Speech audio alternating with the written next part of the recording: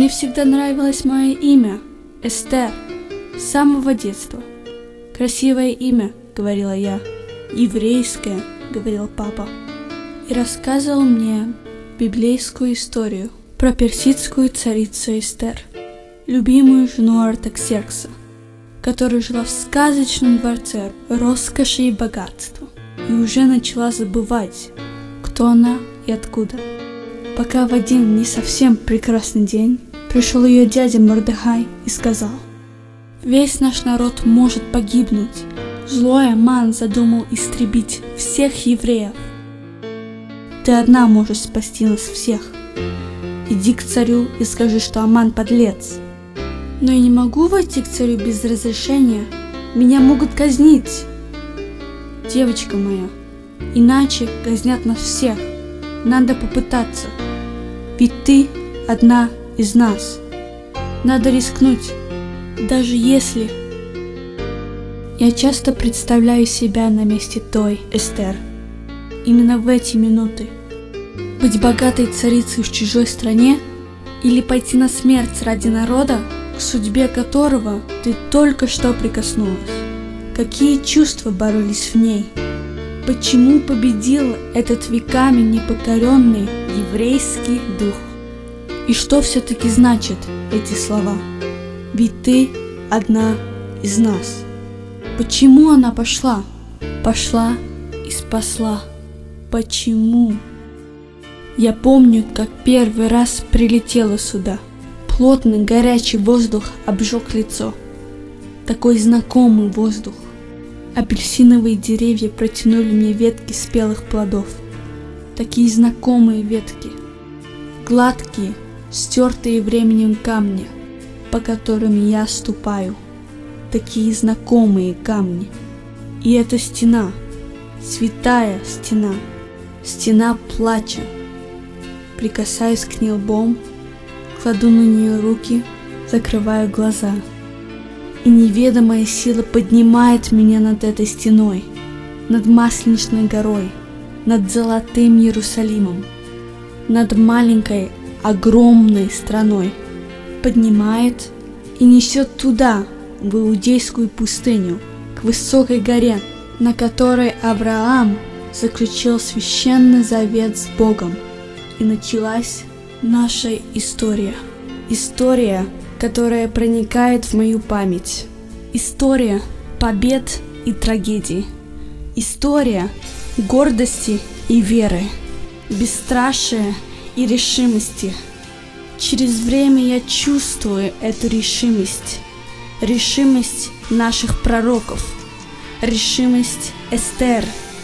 Решимость защитников Масады, которые так и не покорились римлянам.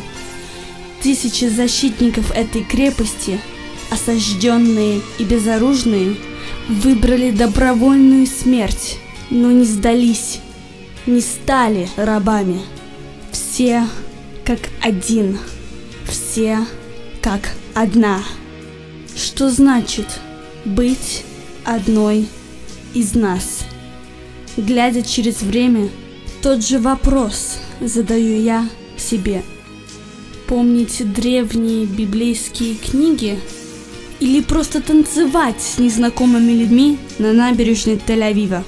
Танцевать взявшись за руки. Вдыхать прохладный воздух субботней молитвы в Иерусалимской синагоге? Или пить воду из прекрасного источника Энгеди, который пил еще царь Соломон, когда сочинял самую лиричную песню о любви? Песен песни.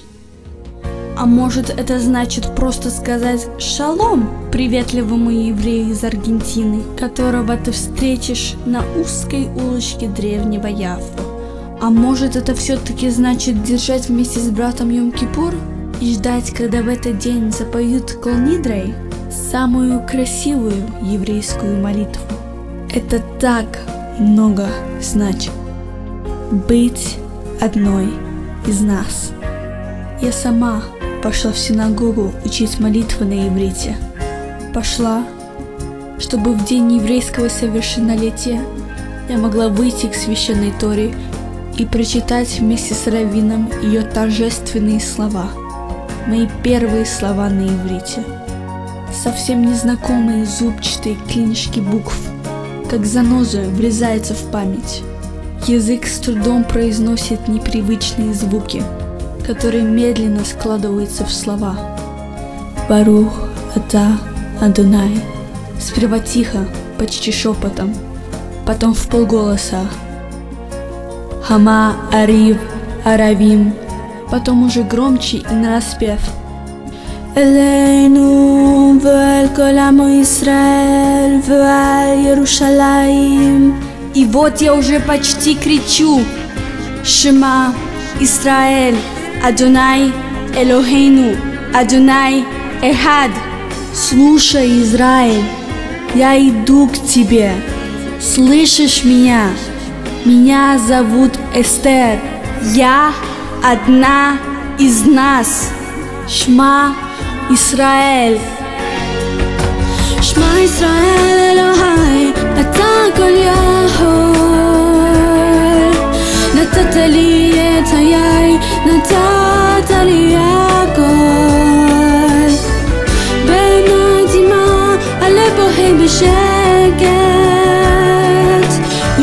ושש הלב שותק, הנשמה זועקת. שמע ישראל אלוהי, עכשיו אני לבד.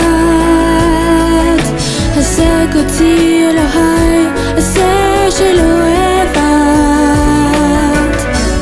הכאב גדול ואין לאן לברוח. עשה שגיאמר, כי לנטור ביקור.